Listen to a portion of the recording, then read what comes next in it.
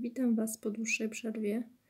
E, kilka osób pytało, co się dzieje z moim akwarium 300-litrowym, mm, więc e, akwarium z paletkami już nie mam. Musiałam sprzedać ze względów finansowych i, i również brak czasu. E, w tej chwili największy zbiornik, jaki mam w domu, to jest około 130 litrów, w którym pływają samiczki bojownika głównie z y, moich miotów, ale też kilka sztuk y, dokupionych. E, razem z nimi masa krewetek, które w tej chwili widzicie.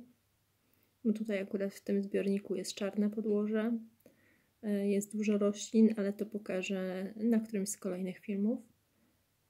E, są tu ślimaczki helenki, bardzo chętnie się mnożą.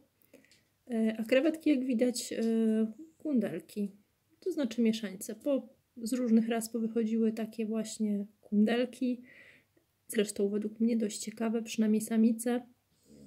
Samce zazwyczaj przeźroczyste, ale samiczki, jak widać, się trafiają w kolorach e, dość niezwykłych. Stalowe, zielonkawe, brązowe, które też bardzo lubię.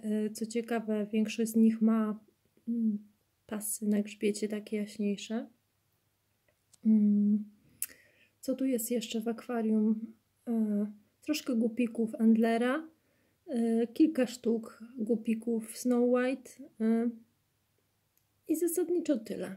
Może jeszcze ze dwa zbrojniczki jakieś małe gdzieś pływają.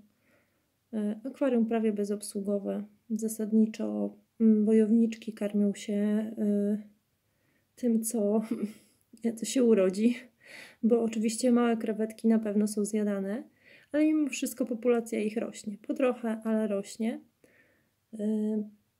No raz dziennie daję pokarm dla głupików, ponieważ y, jest tu sporo mm, maleńkich, nowonarodzonych głupików, więc które też pewnie są jakoś ograniczone przez samicę, głupika, e, samicę bojownika. Natomiast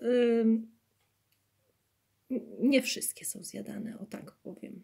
Mm, ja polowań zresztą nie zauważam, natomiast tak przypuszczam, że jak coś się urodzi, to pewnie gdzieś tam w którejś paszczy znika. Zresztą samiczki e, widać, że dobrze odżywione. E, jedna, tutaj druga akurat się pokazuje. Ta akurat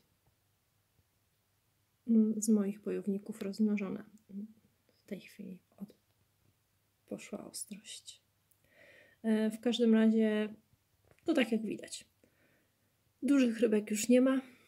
Może kiedyś do nich wrócę, ale na razie nie planuję. Na razie inne obowiązki. Więc na razie tyle, a e, całość akwarium postaram się pokazać gdzieś w kolejnych filmach. Dobranoc.